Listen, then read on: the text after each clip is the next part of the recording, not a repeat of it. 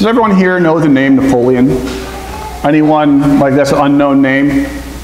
Why do you know the name Napoleon?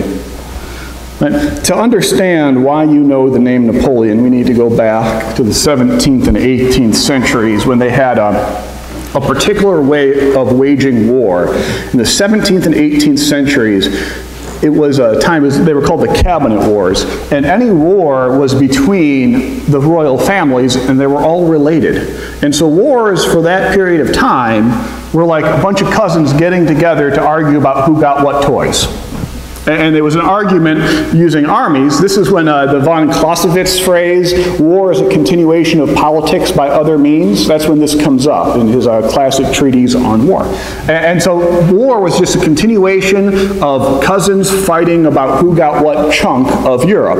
And so the names of these wars are like there's the War of Spanish Succession the War of Polish Succession, the War of Austrian Succession, the War of Bavarian Succession. Do you sense the theme here, right? It's like they're playing, they're arguing over who gets the G.I. Joes. It, it, it's so that who gets what chunk of, of Europe. There were very limited goals, small armies led by uh, the royalty were the officers in the armies, and, and, they were changing coalitions. Like sometimes you'd fight with someone, sometimes you'd fight against them, in the same way that sometimes you get along with some of your cousins and sometimes you don't. It was just kind of all interfamily spats. And so this was a, a, time when war was ultimately safe for the nobility because you would fight a war, but the person you fought against, they might be your brother-in-law in three years, so you weren't going to push it too hard. And then the French Revolution hit. The French Revolution hit, and um, the French Revolution, at the near the beginning of it, they do something amazing. They execute Louis XVI. And they don't even execute him like royalty with a sword. On, uh, as If you're going to kill nobility, you better do it respectfully. No, they, they execute him with a guillotine like he was a common person. And all of Europe watched this happen, and they all had, it was like a simultaneous allergic reaction. All of Europe looked at this, saw it as a threat, and like a complete immune response. All of Europe like jumped on France. And they started forming these coalitions to try to take France down, because if the French way of doing things, that they could get rid of a king, that the kings weren't divinely uh, anointed, then this is a threat to the stability of Europe that has held Europe stable for about 150 to 200 years at this point. And so these coalitions get together, coalitions of Russia and Britain and Spain and Prussia and Austria. It takes seven of them before they manage to defeat France. Seven coalitions, 23 years. You would think that it would, if all of Europe decided that we want to take down France, that they'd be able to do it in something less than 23 years. Why did it take that, that long? Why did it take 23 years and seven coalitions? This gets to why we know the name Napoleon. Napoleon was an amazing general, but he led an amazing army. The French army of that day was an army like had not been seen in centuries, if ever, in Europe. Because what France realized was, if they don't win this battle, Europe will wipe them off the planet. Like, if they don't win, the French Republic will be annihilated, destroyed. They will just get rid of France altogether, divide it up between all the cousins, and France will go poof, right? And so they realize that they are fighting for their very existence. And so they, what they call what's called, it's called the uh, levee en masse. And what it means is everyone fights. If you're a younger, young man and you can carry a sword, you're going to fight. If you're an older man, you're going to make swords for the younger men. If you're a young woman, you're going to have babies so, you can, so they can go fight. And if you're an older lady, you're going to make the cloth so you can make tents and clothing for the people who are going to go fight. This is a total war moment where the entire economy was harnessed Every single person, every citizen a soldier, every soldier a citizen. That was the catchphrase. Everyone is going to fight. And so Napoleon is leading armies. He's leading, he's go, they go to fight against Austria and Prussia and Russia and, Britain, and they're putting together armies of like 20,000, 30,000. The first time they call up the levee en masse, they get 360,000. And by the height of it, Napoleon is leading 800,000 people. Anyone who has ever led 800,000 people, you're going to know that person's name, right? And so Napoleon is an amazing general, but equally amazing is the fact that he led 800,000 soldiers, and that's why it took 23 years to take down France. Also amazing is the one victory that the British newspaper had, because everyone in here thinks Napoleon is short. Anyone here, here know how, how tall Napoleon was? He was 5'2", right? Sounds pretty short. The French inch is longer than the British inch, and so the, the British newspapers had field day, just time and again, talking about the short emperor. And, and, Napoleon, he was actually five foot seven, if you corrected for the length of the French inch, which is average height. Napoleon was not a short man. He was an average height man who led an extraordinary army in defense of a nation that if he did not win, they, they were going to be destroyed. And so this sort of threat to the very existence is what drove the levee en masse. You know who Napoleon is because the situation of terror that the whole nation would be destroyed created him. And that's why you know the name David right? That's why we know the name David. This is the same type of threat, the same way that like Europe was going to, all of Europe was about to destroy France if they didn't defend themselves. That is the moment that we find David in when the Philistines invade. When the Philistines invade, like we know the punchline, we know how it unfolds, we know that Israel survives. If you go back to David, and, and David, 13-year-old David, supporting the, the military, they, have set up the, they set up the army, he's bringing supplies for his three older brothers. They don't know that they're going to make it. Like, David is a, a part of this nation, uh, this kingdom of Israel, and they have the first king, Saul, and they're in the first years. Nothing is a given. And if they lose, the Philistines, like from the Philistine point of view, the Philistines are invading because these weird Israelites over here have taken a chunk of our farmland. And the Philistines, we need that farmland to feed our people. So they're invading to get the, what's this Israel? There's no such thing as Israel. There is no king in Israel. Saul, whatever. Just get out of the way. We want our farmland back, right? Philistine, the Philistine, Philistine army is invading because they think it's theirs. And, and we're in the first years of a kingdom that has never existed before. And so if Israel loses, that's it. They're gone. Like, they will plow salt into the fields of the people who lose, take the rest from their own farmland, interbreed with the people. Israel, the Jewish people will cease to be. And so Israel has called up the equivalent, they wouldn't have called it a levee en masse, they didn't speak French. But uh, that's just what they, they've done. They've called up everybody to come and be part of the military to defend uh, the, their homeland.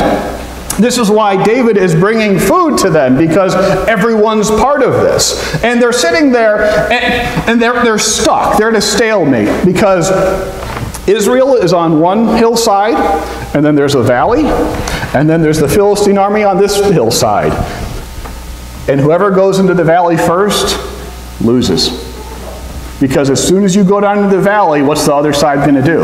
They're going to charge down, throw nasty bits of steel, or they don't have steel, throw nasty bits of metal at you, like slingshots, and they're going to spears, etc. As soon as you go into the valley, the other army will just run down rough, roughshod over you, and you will be annihilated.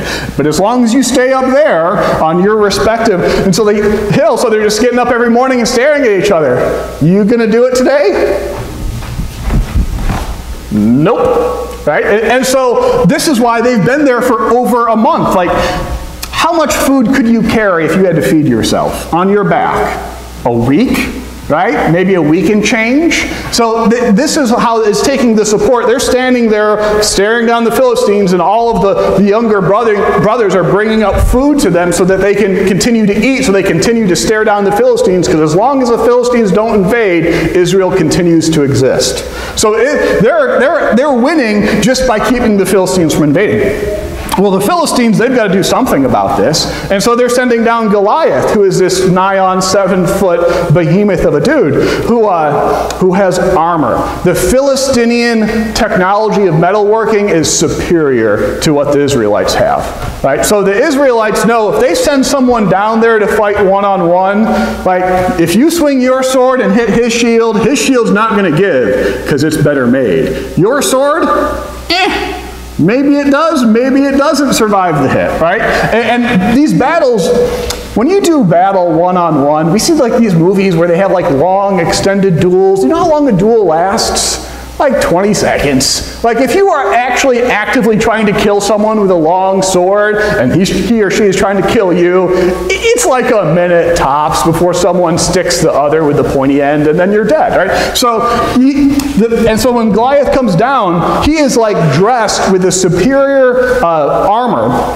He has a shield bearer. Why does he have a shield bearer? Because he's carrying, the shield is so how heavy is a car door? Not like these newfangled, like styrofoam filled car doors, but like an old, good F 150 car door or truck door. That's what it's like to hold up a shield of that age. It's this big old sheet of metal. So he has a shield bearer because it's just so heavy.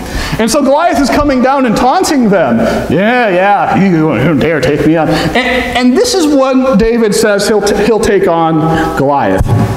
And so he will go down and take on Goliath. And Saul says, okay, go for it. And I don't know what Saul is thinking. Like, I don't know if Saul is thinking that, yes, God will provide and this will work out well. Or is Saul thinking, you know what, I'll throw him at him, and if it works out, great, and if it doesn't work out, it's not like it looks like we meant it anyways. All right? So he go, David goes forth. And uh, he has a sling. And you think, ah, sling. Anyone here play with the sling when you were 12? Sling. You pull it back and you give it to kids, and then you hope they don't break too many windows. That's not what we're talking about. We're talking about a sling that David used to kill lions and bears here. We're talking about a, a device that, for, I went on YouTube, did some research. There's a great video comparing uh, pistols to a sling. And a, here, here's the comparison. If you use a sling well, it delivers more force than a 9 millimeter, than a 357, a little bit more than a 45, and the handgun that has more stopping power is a 44 Magnum. That's a significant weapon, isn't it? So it's not like David like prances out there, oh, I've got my sling, plink. No, he goes out there with a sling that can throw a bullet at least, a stone as hard as a bullet, at least as hard as a 357. Notice the terminology to it. It hits his forehead and it crushes is the verb. It crushes his forehead, right? He takes him down and, and, and then he cuts his head off with his own sword. And this is the point at which it is a very reasonable thought. Like, if you are on the Philistinian, if you're in the Philistinian army, and you're looking at, at them, and you see all of them, and they're carrying those slings, and you think that you at some point are going to have to charge a wall of stones being thrown with the force of 357s, I'd think twice about it too. And so they decide to go home, and Israel exists. Israel continues to survive because David is uh, pretty good with a sling. Now, again, think about how long this, this little conflict between David and Goliath would last. How long would this last?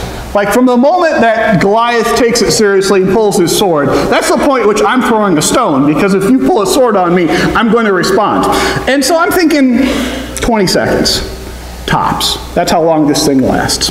And, and, and as I was like thinking through this 20 seconds that changed the fate of, of David, changed his life, um, I thought of something that may not be an obvious connection, but has anyone here seen the movie We Bought a Zoo? There's a book by the same name, We Bought a Zoo. And uh, it's a family that they, well, they buy a zoo. Uh, that kind of gives away the punchline. But um, there's this moment when the dad and the teenage son are, are having a, a, a, discussion, and the teenage son is struggling with what's going on, and the dad looks at him and says, You know, sometimes all you need is 20 seconds of insane courage. Just literally 20 seconds of embarrassing bravery, and I promise you, something great will come of it. 20 seconds. 20 seconds of insane courage, of embarrassing bravery. 20 seconds of absolute faith that God will get him through it, that God will be with him, and that's what happened. David comes out on the other side, and if you read the rest of the life of David, it is not all peachy, right? David goes through some real challenges. He has uh, Saul kicks him out of the, the nation, uh, the kingdom, and he, has to, he ends up being a mercenary for another kingdom for a while. He has his own military problems. His wife wants to kick him out. That's a whole fun story, right? Uh, he has his own military struggles. He has his own family problems. Bathsheba, that's a different sermon. But like in all of this, he can keep on going back to this, this moment at the beginning of his life. I charged Goliath and God brought me through it. God will probably bring me through this one too. Right, those 20 seconds of insane courage, something truly great did come out of it. And what came out of it is a man after God's own heart who trusted and believed and was willing to act on it. Now, today is Pentecost. Today is the day we celebrate uh, Pentecost, which is this moment when the people in the upper room, a bunch of very scared Jews, Jews gathered together, uh, they have this moment of courage. It's not quite the same level of insane courage as charging a seven foot man trying to kill you, but it's still courageous because what they do is they rush out of that room and they find as many people as they can to tell about Jesus. And, and I, I, don't think people change. I, like, I don't think people, well, let me rephrase, rephrase that. I don't think that the nature of people change. I don't think that those people 2,000 years ago were any more likely than we are. Like, is anyone here likely to run out the door after this and start going to the gas station and grabbing as many people as you can to start telling, hey, let me tell you about Jesus? Like, anyone planning on doing that? Right? Would, I, that would be something embarrassingly brave, wouldn't it? Right? I'm not asking you to either. Don't, don't worry about that. But that is what happened on Pentecost. Is a group of people were willing to have 20 seconds of embarrassing bravery to walk out the door and say, I, I need to tell you about Jesus because this is something has just happened. I need you to know about it. And something great comes out of it because that is the day that the church changes from being a bunch of Jewish Palestinian Christians and they walk out the door and they start talking to people from all over the known world. And the church changes its character like that. And now it is a church of excited people from all around the world. This is all, then this is also why the, this is the day that we practice baptisms and confirmations and memberships, right? Pentecost is the day, traditionally, this is the day when people join the church. Why is that? Well, I believe joining the church, it, it takes about 20 seconds to say, I will, right? It does not take all that long, but it is a courage, courageous act, an act of faith to stand in front of people and say, Do you believe that Jesus is Lord? I do. That is an amazing act of faith. It's an amazing act of faith to be baptized. It's an amazing act of faith to stand in front of a congregation and say, Are you going to be part of this family here? And to say, Yeah, yeah, I am. That's a courageous thing. It's courageous to be confirmed because what do you do when you get confirmed? You're a teenager who stands up and say that you say that you agree with your parents. That's a courageous thing to do as a teen. you agree with the faith that they confessed when you were an infant. As I think back to David, I wonder would he have had the courage to, to charge Goliath every day? Like he, he charged Goliath once. Would he have the faith and the courage to charge Goliath Monday and Tuesday and Wednesday? Would he do that often? I don't know. Maybe, maybe not. Paul writes to the church at Corinth, he speaks of the gifts of the Spirit, that some people have the gift of great faith. Some people have the gift of great knowledge. Some people have the gift of great wisdom. Some people have the gift of prophecy. Some people have the gift of, of service. He talks about all these gifts. And I find it fascinating that he lists faith as one of the gifts of the Spirit, which means that some of us have the gift of great faith and some of us do not. Some of us have the faith to make that commitment in baptism, and then that, that's like the, that's their, the, our 20 seconds of insane courage. And the rest of the time, maybe we don't have that great faith. That's me. But I don't have a great faith. I would not charge Goliath repeatedly. I hope I could charge him once. Hope I'd have lots of time to practice with a sling beforehand. Right? But uh, I, I don't have a great faith. Some people do. But it changes everything to, to be able to risk it, to take that 20 seconds of insane courage, that great faith, to take a swing at it. And if you have that great faith just when you need it, that, that's the gift that God will give. The faith I have is enough. It, it, I wish it was greater. I wish it was more. But like, to walk up to the bishop and to kneel on something about like that, and, and for the bishop to lay hands on me and, say, take thou authority, and to ordain me, like, that's, that's a moment you're walking up and it's like, do I really believe this? Am I going to commit my life to this? Is it going to be what I do from here on out? Because once you're ordained, like that's it. That is a moment that changes your life. Yeah, I did. 20 seconds of insane courage, and uh, it changed the future of my life by the grace of God. And I'm very thankful for it. I want to invite you to be open to this. I want to invite you to be open to occasions when 20 seconds of insane courage, of embarrassing bravery, 20 seconds of faith believing that God will see you through. You don't have to be brave enough to charge Goliath every day, but when Goliath is there, trust that God will get you through that 20 seconds just as God did with David. Amen.